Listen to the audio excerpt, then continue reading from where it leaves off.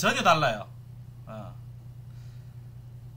어, 완전히는 아니고 참고를 했어요. 어, SV650하고 이제 코멧 650하고 어떤 차이가 있냐면 어, 이게 TL1000S의 엔진을 바탕으로 참고를 해서 SV650 엔진을 만들었어요. 그 SV650 엔진을 참고를 해서 효성식으로 해석해서 만들어낸 게 코멧 650 엔진입니다. 정확하게는. 보면은 엔진을 딱 뜯어보면은 각자 냄새가 있어요. 이게 스즈키 냄새가 살짝 스즈키의 조미료가 살짝 쳐져 있지만 스즈키는 아니고 예. 그러니까 일본 미소시루 맛 같은데 끝맛이 보니까 집된장 좀 섞었는 맛 이런 느낌이라고 해야 될까요? 비용입니다.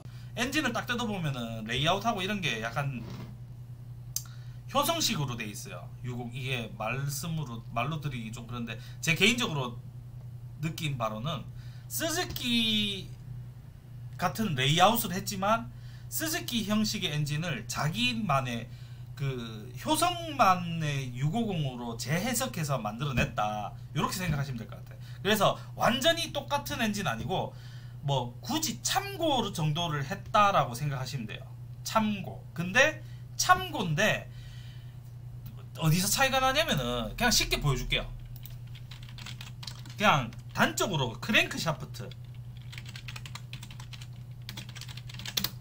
자, 코멧 650 크랭크 샤프트는 자, 보시면은 어, 코멧 250하고 똑같은 방식이에요. 이런 식으로 중간에 피스톤 커넥팅 로드의 핀을 압축해서 박아넣는 방식입니다. 이런 형태의 피스톤은 단기통하고 또 저배기량급 오토바이에서 쉽게 볼 수 있는 형태의 크랭크고 요 이쪽 크랭크 부분하고 이쪽 크랭크하고 분리가 됩니다. 떨어져요.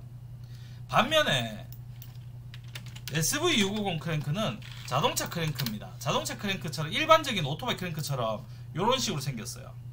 이런 식으로 생겨가지고 보시면 자동차처럼 커넥팅 로드를 크랭크 샤프트 본체는 통으로 돼 있어서 분리가 안 되고 커넥팅 로드에 메탈 베어링 들어가는 방식입니다. 요거 분리해가지고 뜯었다 조립이 가능한데 코멧 같은 경우에 코멧 650의 크랭크 샤프트는 이렇게 보시면은 어, journal형 베어링이 들어가는 게 아니고 메탈 베어링이 안 들어갑니다. 볼 베어링 들어가요. 이렇게 볼 베어링 들어가는 타입이 코멧 250이나 650이나 사이즈는 다르지만 똑같은 볼 베어링 형태의 크랭크 베어링이 들어갑니다. 그래서 기술적인 면으로 봤을 때는 코멧 650의 엔진은 아, 어떻게 보면은 650cc급 출력에 맞는 그런 기술력으로 만들어진 느낌은 아니에요. 650cc급 엔진인데 얘네들이 할 수 있는 방식으로 내가 내, 나는 그러니까 이런 거 있잖아요. 어른들한테 스마트폰을 주면은 어른들이 스마트폰을 자기만의 사용하기 쉬운 방식으로 어떻게 뭐 어? 케이스를 잘라갖고 뭐 어떻게 편한 쪽으로 뭐 손을 본다든가 뭐 덕지덕지 붙인다든가 이런 게 있잖아요. 이 약간 그런 느낌이에요.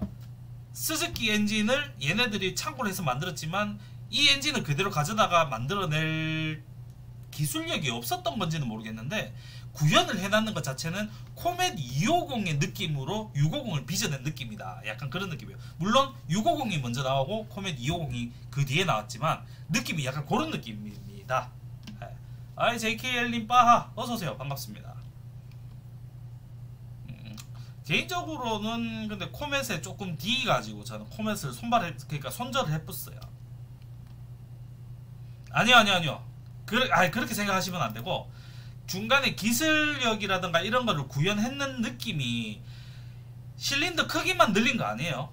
코멧 250은 엑시브 엔진, 엑시브 125 엔진을 가지고 V-twin으로 만든 거예요. 근데 그 엔진을 배기량만 키운 건 아니에요. 확실히 다릅니다. 달라요. 250하고 650하고는 아예 다른 엔진으로 봐야, 봐야 되지만 뜯어보면은 그 구성이나 뭐 이런 것들은 굉장히 닮은 그 닮은 점이 굉장히 많다 이거예요. water pump도 보면은 효성이 나름 그래도 나는 이 부분을 장점이자 단점이라고 생각하는데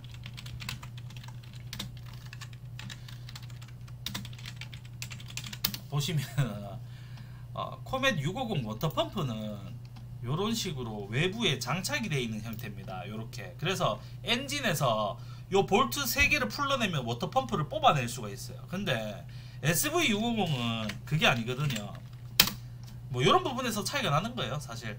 SV650 같은 경우에는 이제 엔진 케이스 안에 내부에 있습니다. 그래서 water pump만 따로 뽑아내지를 못해요. 일단은.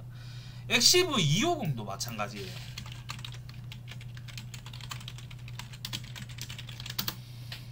얘도 기존의 코멧처럼 이렇게 볼트만 풀러내면 water pump 부분만 따로 빠집니다. 아. 근데 기존의 스즈키 차들이라든지 이런 것들은 이제 이런 식으로 따로 나와 있는 게 아니고 이렇게 케이스에 모듈화돼서 나오죠. 이게 그러니까 뭐 어떻게 보면은 water pump만 문제 있으면 water pump만 갈면 되는데 뭐 그런 겁니다. 아니다 안 좋지. 얘네들은 세, 세세한 임펠러하고 모든 파츠들이 다 나오는데 얘네들은 그 이런 식으로 어셈블리로만 나오니까 어떻게 보면 어 그럴 수도 있긴 안 좋은 점도 있겠습니다. KR이 부품 수급만 잘 되면은 중고 가격이 이렇게까지 떨어졌지는 않았겠죠. 예. 그만큼 문제가 있고 상태가 안 좋으니까 중고 가격이 폭망인 건데 그렇게 되면은 이런 또 생각이 들겠죠. 미쳤나 국산을 중고를 뭐 이 정도 주고 살 바에 차라리 어 저 수입 오토바이 화석 썩은 수입 오토바이 사가 고쳐가 타겠다 이런 생각이 날 수도 있습니다. 근데 그렇지 않고 국산을 선택했는데 국산이 뭔가 아쉽다 아깝다 하는 거는 중고 가격이 방어가 안 될 정도로 폭망으로 떨어졌어. 그 이유는 있어. 근데 내가 중고로 사왔는데 막상 보니까 이 부분이 아쉬워. 근데 문제는 이 중고 가격이 보장이 안 되고 떨어진 이유가 이 문제 때문에 이제 폭망이 됐었더라. 이런 거거든요, 사실은. 그래서 그 문제가 해결이 되면은 뭐 어떻게 보면은 국산 오토바이를 우리가 싸게 살 수 있었을까 참 좋았을 걸 이런 이야기가 사라질 수도 있습니다. 달라질 수도 있어. 다른 이야기가 될 수도 있습니다. 아 이분은 혼돈에 어, 이상민님 혼모노시군요. 아, 아 인정합니다. 부품차 하나 사가 쓰려고 놔뒀다 하면은 일단 최소 환자급 예. 애증이죠. 어, 제가 오죽했으면 내가 하다 하다 엑시브 엔진 뿌라지고 나서 똑같은 엑시브 엔진 구해가지고 다시 얹어가 탁각하다가 치았잖아요. 더 이상 KR의 미래는 없다. 엔진을 내놔보자. 왜? 엔진은 전용 부속들이 들어간 부분은 메이커에서 단종시키거나 이제 발매를 안 해주면은 고칠 방법이 없습니다. 근데 외장류 부속들은 쉽게 개조 장착 그러니까 개조 제작해서 장착이 가능하거든요. 예를 들어 가지고 스텝, 레버류, 마스터 실린더, 쇼바 이런 것들은 충분히 가능해. 앞뒤 쇼바, swing arm, 휠 이런 것들은 다른 차 거 가져와 가지고 좀에 가공하면 되는데 엔진 안에 막 뭐 예를 들어 가지고 크랭크 샤프트가 이제 더 안 나와. 그러면은 다른 기존 크랭크 샤프트를 깎아가 놓는 어떻게 하나? 못 해요. 전용 부속은. 그렇기 때문에 저는 과감하게 포기했습니다. 아, 엑시브 안 돼. 라고.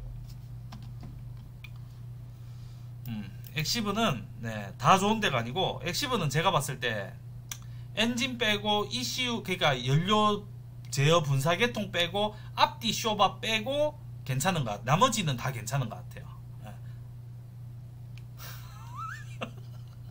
네, 엑시브가 차대가 괜찮은 것 같더라고 오토바이 차대가. CT도 CT CT는 부속 수급 잘 되는 편이에요. 엑시브에 비하면. 코멧이 어, 좀 저는 개인적으로 아쉬운 부분이 좀 많았었어요. 이게 어, 이거 이렇게 생각하면은 못하는 게 맞아. 이거 중고 시세 내가 지금 이거를 여기에 돈 넣어서 수리를 해본 들이라는 생각을 한번 하게 돼버리면은 그 오토바이에 돈을 못 써. 이거 돈 조금 더 쓰면은 살려가지고 탈 수 있는데 그 돈 자체도 아까워. 왜? 밑빠진 독에다가 돈 내삐는 것 같거든. 그래서 저는 아 됐다. 여기서 돈더 처박아 여치 말고 이제 그냥 손절하자. 손발 털자 하고 그냥 뺐습니다. 어. 들어간 돈에서 한 30만원 손해보고 팔았어요. 엑시브는 이쁘기만 해요. 예. 이쁘기만 합니다. 예, 맞습니다.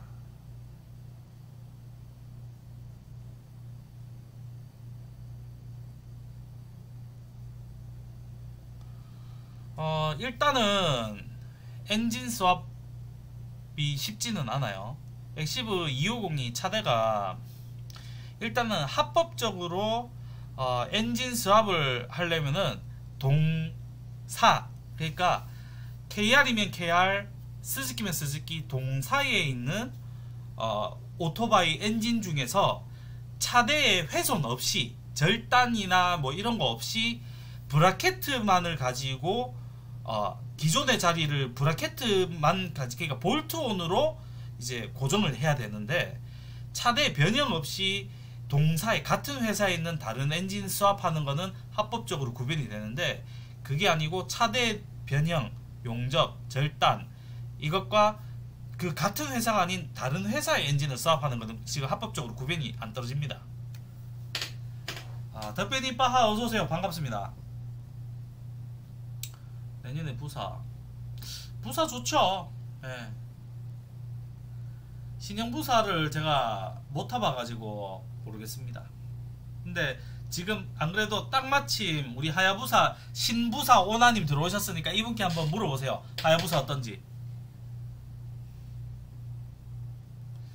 어, 미라주 신형이라고 하기는 그렇고 어, 미라주라고 하는데 미라주 여태까지의 미라주 혈통과는 다른 기종입니다. 아킬라 125, 300은 지금 나온 아킬라라고 판매되고 있는 기종은 미라주의 어, 이름 수출명 아킬라를 따와가지고 판매하는 거는 맞지만 혈통적으로나 이런 걸 봤을 때는 미라주는 아니에요. 어. 근데 뭐 잘 만들었다고 하지만 항상 그렇죠. 여태까지 KR 모터스의 만행을 봤을 때 아킬라 또한 그 미래가 점쳐져 있지 않을까. 예. 지금 엑시브가 2014년도에 판매가 되었고 2017년도를 마지막으로 이제 단종됐습니다. 생산이 중단되고 단종이 됐어요. 근데 지금 몇 년도입니까? 생산 단종되고 4년이 채 지났나? 제가 작년 재작년인가? 재작년이죠.